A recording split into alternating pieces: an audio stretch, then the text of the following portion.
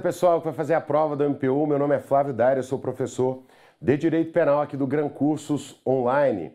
Senhores, presta atenção no seguinte exemplo. Dois comparsas querem matar um desafeto comum. Querem matar uma pessoa que é desafeto de ambos. E eles combinam o seguinte: eles vão fazer, eles vão levar a efeito essa empreitada delituosa dentro da casa da própria vítima. E aí um vai ficar de vigília na porta para ver se passam, se chega um conhecido, se a, a, pessoa chamou a polícia, se aparece a polícia, alguma coisa nesse sentido, para que eles consigam se evadir antes de serem presos. E um deles vai entrar e vai realizar o a, a ocisão da vida extrauterina do desafeto, né? O assassinato do desafeto. Beleza. O cidadão que entra tortura a pessoa antes de matar. Quando você tortura a pessoa antes de matar a pessoa, isso é homicídio qualificado. Artigo 121, parágrafo 2 inciso 3 homicídio mediante tortura. A pergunta que eu faço é o seguinte: esse cidadão que assassinou mediante tortura, o homicídio dele é qualificado. O que ficou de fora fazendo a vigília, o homicídio dele é simples ou é qualificado? Para a gente responder essa pergunta, a gente tem que conhecer o dispositivo no Código Penal. No Código Penal, não, vou ser um pouco mais ousado agora. O dispositivo no direito, tá? E eu não estou falando direito brasileiro, qualquer direito, que tem a pior redação do mundo. Por quê? Porque é uma negativa seguida de uma negativa. Não se comunicam as circunstâncias e as condições de caráter pessoal salvo quando elementares do crime, né? Então tem uma negativa seguida de uma ressalva. Então, na verdade, eles podiam escrever assim, né? Quando elementares do crime se comunicam as condições e as circunstâncias de caráter pessoal. Mas tudo bem. Olha só, senhores, vamos separar aqui ah, as situações que a gente tem que caracterizar para estabelecer uma regra de comunicabilidade entre coautores. O que é comunicabilidade? São as imputações recíprocas. É o seu comparsa responder pelo que você fez, é você responder pelo que seu comparsa fez. É você estar no enquadramento do seu comparsa, o seu comparsa está no seu enquadramento. Para a gente fazer isso, a gente tem que analisar três situações, tá? Primeira, a índole desse dado, dessa informação. Se é de natureza factual ou se é de natureza pessoal.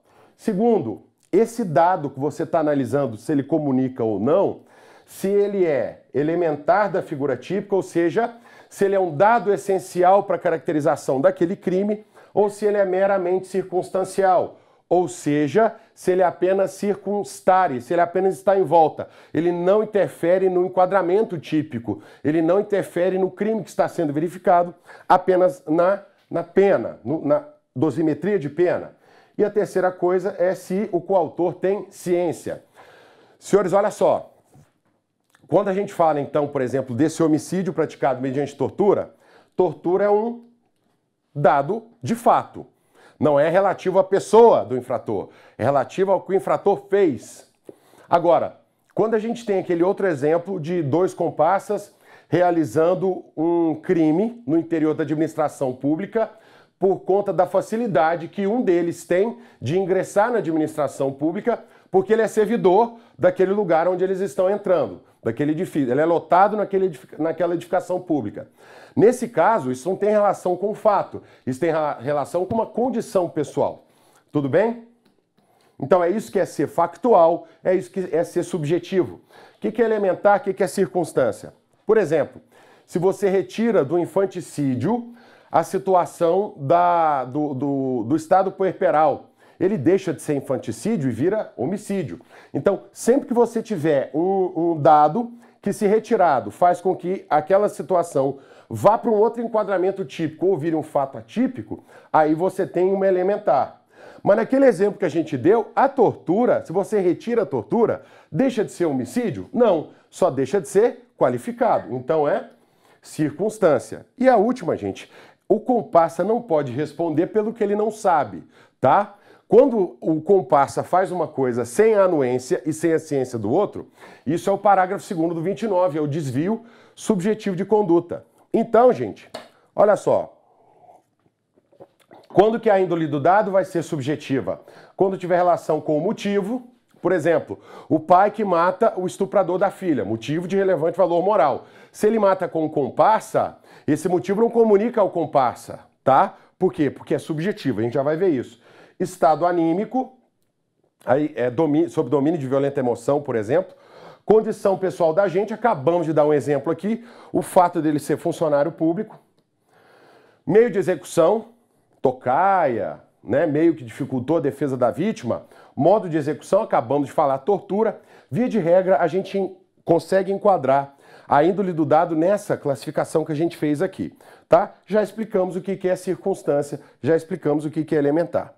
Beleza, gente, aí como é que funciona isso aqui de acordo com o artigo 30? Olha só, presta atenção nisso aqui, ó. Ciência do coautor. Sempre que você tiver o coautor não sabendo, ó, ele não sabe qual que é, qual que é o resultado, não comunica. Então você vai realizar o furto no interior da administração, subtração de alguma coisa no interior da administração pública. O teu compasso é servidor daquela administração, mas você não sabe disso. Beleza, você responde por furto e ele por peculato. Tá bom? Todas as situações onde não tem ciência, você não tem a comunicabilidade. Então, olha só, se aquele cara que ficou de vigília não sabia que o comparsa ia torturar a vítima antes de matar ela, não, isso não estava no plano, ele não sabia, tá? O que, que vai acontecer? Ele vai responder por homicídio simples. Agora, repara o seguinte: quando for um elemento factual, se você pegar aqui, ó, elemento factual, sempre que a pessoa souber, comunica, tá bom? Então, a, se o cidadão aqui, ó, se ele souber do homicídio mediante tortura, aí o homicídio dele é qualificado. Entenderam isso aqui, gente? Então, sempre que for alguma coisa relacionada ao fato e você souber, você vai responder no mesmo enquadramento que o seu coautor. Agora, quando for subjetiva, presta atenção no seguinte: se for elementar e você souber, aí sim, Aí você vai ter a comunicabilidade. Então, ó, o fato do cara ser servidor público é o que vai fazer a subtração de coisa alheia móvel sair do furto e virar peculato. Então, elementar é, se eu sei que ele é servidor público e está se valendo dessa facilidade, aí eu vou responder por peculato também, mesmo eu não sendo servidor. Aquela condição pessoal que é subjetiva vai comunicar porque é elementar. Agora, se a circunstância for subjetiva e eu souber, ela não comunica se ela for só circunstancial. Se o pai está matando o estuprador da filha, tá? É, motivo de relevante valor social aqui é, é, é subjetivo e só interfere na pena. E eu sei disso. Mas eu não tenho relevante valor social meu, porque eu não conhecia a menina, aquilo para mim tanto faz como tanto fez, eu estou ajudando ele, tá bom? Às vezes eu estou ajudando ele mediante paga, tá bom? Essa circunstância do relevante valor moral, essa circunstância que só interfere na pena, né? Deixa de ser homicídio simples vira privilegiado. Então não é elementar porque não deixa de ser homicídio, só interfere na pena, é subjetivo porque é motivo e eu sei. Comunica para mim? Não. Então, gente, qual que são as regras? Ó, eu escrevi as regras de comunicabilidade de um outro jeito.